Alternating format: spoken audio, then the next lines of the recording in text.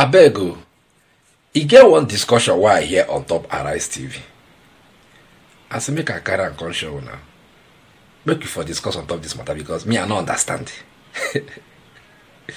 E get as the matter be. All this kind egwu egwuregwu na this country. Because i don i don get it. Back and forth back i no just ngwa make i no talk too much.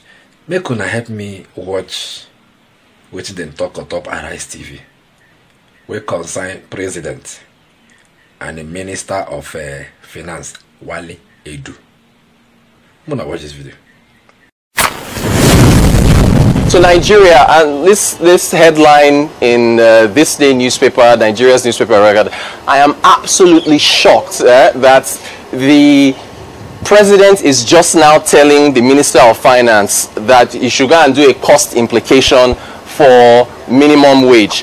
Um, I, I, I, look, Dr. Biodun Adedipe, as far as I'm concerned, has had the best minimum wage discussion on the morning show that you had a couple days ago, where he broke down those particular numbers. Are you saying that for the past one year that we've been talking about minimum wage, that you don't have any cost implications, you didn't reach out to the private sector? It, it really is uh, trouble. And why do you need the president to tell you to go and do a cost implication? I mean, you could have come up with these numbers, you know, on on your own.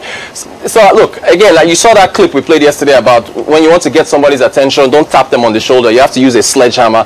Uh, labor, anyway, you know, I just, I'm really, really uh, taken aback. But by the way, speaking of the Ministry of, of, of Finance, there's that um, ASAP uh, plan that the ministry has put forward, right? A 65-page document. I haven't gone through the entire thing, but uh, the excellent work from our uh, uh, colleagues over at This Day newspaper.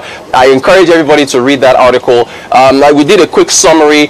Uh, it's not just about what the plan is asking for, uh, what is putting forward for the president, uh, put by the ministry. It is also the issues. And if you look there, again, following um, um, Minister of Finance Edun's TV interview, where he admitted that fuel subsidies are still an ongoing issue. In that uh, plan that he puts forward, it highlights the fact that fuel subsidies in 2024 are still going to cost 5.4 trillion naira, right? Even with the subsidy removal. So it tells you the degree to which subsidies have been costing Nigeria money. It also highlights Empower 1.5 trillion naira to Gasco and the Gencos, right? And then also now um, um, putting prescribing a 1 trillion naira stabilization fund for manufacturing. So you're going to spend 5.4 trillion naira on subsidies and you are now you're also putting forward um, 1.5 trillion. As I said, remove the entire thing. You can then have enough money to be able to address all the other um, fiscal issues that you want to address. They also, in that ASAP report, pointed out that there is a revenue shortage. The, the, uh, the uh, revenues in Nigeria for January and February have underperformed because of oil production, because of underperformance with oil production. So there's a lot of holes here that have to be uh, filled. And by the way, since we're talking minimum wage, if you do control F on the document and search for minimum wage, there's, there's, there's okay. nothing there. So I would have thought again that that cost implications for minimum wage would have been there. So, all right. You don't see him. Wait, oh. this government is serious about implementing minimum wage, wey me I they call living wage, and they don't. They've not done their cost effect. Eh, the cost effect of implementing that minimum wage, no matter the amount wey e be. They were proposing 60,000 naira. So there is no cost. All this why? Okay, the Minister of Finance needed to be told to look at the cost effect of a new minimum wage. That's any day where. Because from what you now watch there, they say, Tinubu, tell the minister, say, make he prepare the cost uh, effect. I'll be wait to it. Uh, the cost effect now if they implement this new minimum wage, what will be the cost effect on the nation or on their budget or on whatever it is? They'll never do a more. Eh, but they are hoping to implement a new uh, living wage where all of them know as minimum wage. That's to tell you that these people they don't have any plan of even giving a living wage. They don't. Because how can you have a plan to give Nigerians a new minimum wage? You don't even know the cost effect of your new minimum wage on the economy or on your budget or on whatever you are going to be considering to give that minimum wage. Now, now you they give directive. Okay, that one by the side. una hear the highlight uh, wey dem talk for the say minister of uh, finance say he give some highlights about some costing inside the 2024 the number one wey dey there they say fuel subsidy go cost 5.4 trillion naira in 2024 abeg you now wey watch that video because i'm lost. I no understand anything for there.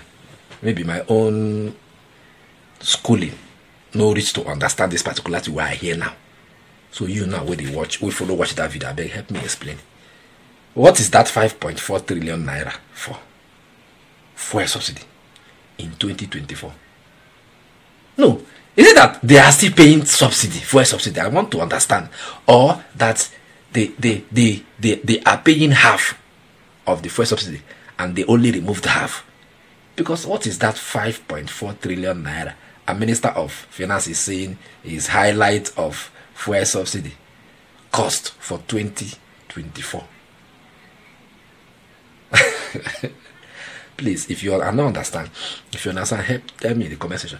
Uh, okay so all this while that we have been saying that these people are still paying for subsidy. So it's true.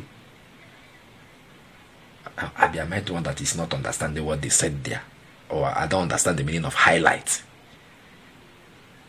Highlight 5.43 I beg if you understand help educate us in the comment section so that we go understand what they talk for that video 5.4 trillion. So if we are still paying for su- subsidy, why are people suffering now? Why is fuel costly? Why? I- so that is that's what they talk about. Uh, if you understand, just tell us in the comment section so that we will follow you understand that. But you see, there is no clarity in this government. A government that is bent on working for its people ekwesịrị inwe some level of clarity so that people will understand what they are doing. But it seems the policies of this government is shrouded in secrecy. And in English I speak. Is shrouded in secrecy because no, I, I don't understand what's happening. Eh? First of all, you want to give a new minimum wage. You don't have a cost effect of that minimum wage on the economy. You don't have it. Secondly, we are now hearing that 5.4 trillion highlight for fuel subsidy in 2024. How?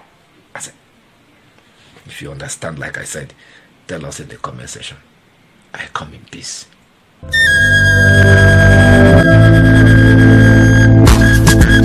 For centuries, the Ijele has been a revered masquerade in Igboland, a predominant tribe in southern Nigeria.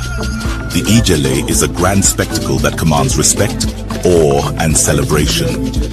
Today, Innocent Vehicles brings you the Ijele in a new form. A majestic, robust, and monolithic pickup truck designed to leave an indelible mark in the annals of automotive history.